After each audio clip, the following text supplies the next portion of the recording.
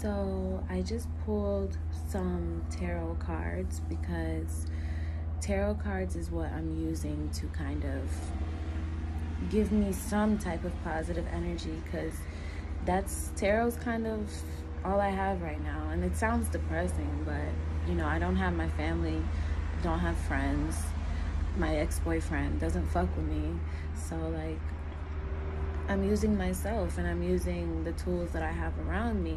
And um, today I, I really started thinking to myself after I journaled. I really started thinking, or maybe it was just a message from like spirit or something, but what do I expect to come from this situation that I'm in right now? What good, what greatness, what change do I expect? My mom doesn't want me here. She let my brother, my older brother, move in here. He doesn't want me here. My job, I don't like it there. I'll, I'll work a whole entire 10 hour shift and only come home with $80. My mom gave, gave me three weeks, three weeks to get out. What, like, this, this, what I'm in right now, this situation, is just sucking my energy, sucking the life out of me, and almost making me want to kill myself, as bad as it sounds. And um, I really know deep down inside that I have to leave.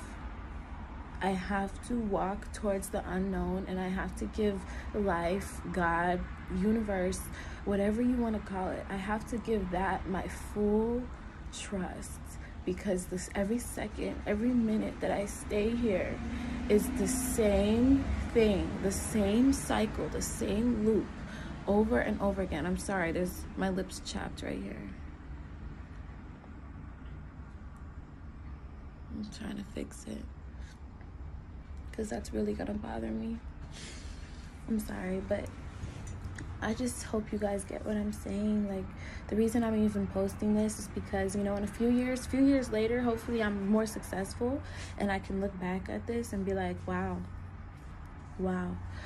But, um, yeah, as I was saying, like, what do I expect to come to me from staying here? I'm limited. I'm completely limited. I'm completely limited. And I know it. But the only reason I'm here I realize is fear. Fear is the only reason I'm here because I'm scared of the unknown. I'm not trusting. I'm not trusting of that there's greatness waiting for me if I leave because I'm scared. This is all I know. You know, I'm 18 years old. I, I keep reminding you guys. I'm 18 years old, but I still have an old soul, so age doesn't matter, but I'm still young as far as being on earth. So I don't know all I know is going to school and coming home and you're supposed to listen to what your parents say and those days are over. I'm an adult now that has to take care of herself. And believe it or not that's something i'm really happy to. I've always wanted to just be an adult and take care of myself. Even though it's hard i've always felt like i would be good at it. But i have to i really have to leave. I really have to leave but I don't know. I I hope you guys can see the like turmoil going on in my head and also my heart. My heart is saying, "Girl, you already know you destined for greatness. You already know all this this and that, but you have to do the things that 99% of society can't do. You have to do those things. Like you have to do those things." You have to basically almost die for what you believe in.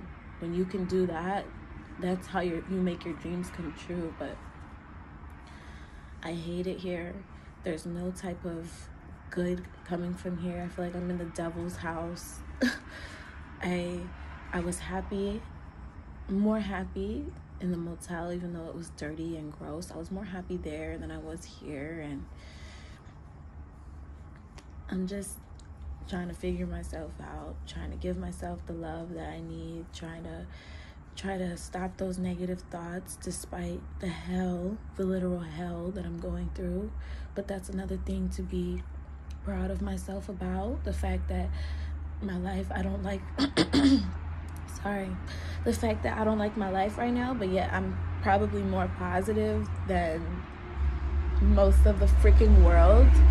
Another reason greatness is coming for me because my my ability to stay positive and stay trusting. I'm obviously not as trusting as I need to be just yet, and that's okay because I have been through trauma, but I just want to my goal is just to give life my complete trust because nobody knows why or how we were all no one knows why or how we're alive right now no one knows that but yet we are alive and if that's not a reason to trust then i don't know what is.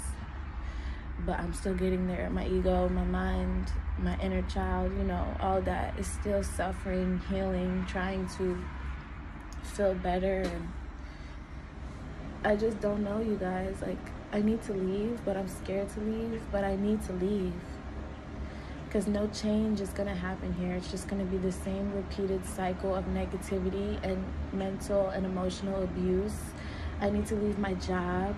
I need to leave all of that. I need to do what I need to do. And I'm not really posting um, on here for people to give me like what they think I should do. Because, in all honesty, um, you can't tell another person what to do with their life until you really figured out yours. Then, when you figured out yours, then you can mentor others and help others. But TikTok banned my account permanently. And I'm kind of glad. TikTok's not the app I need to be on. I just need to do like little video diaries where I can just vlog and post about what's going on and it's not really I'm not really doing this for the views. I'm doing this kind of for myself because I genuinely want to be able to look back and see my growth. So yeah, like that's just where my head's at. I might come on here and just talk about what's going on in my mind and what I'm thinking about and I would love comments of positivity only. Like send me positivity, pray for me, send me love, send me all that. But if you can't send me that, I really don't want your comment. I don't want your subscription. Like, I don't want you to subscribe to me, any of that. I hope you guys don't take that the wrong way, but I just need all the positivity I can get right now. And, um, I just gotta, I hope that video makes sense. Bye, guys. Thank you for watching to the end.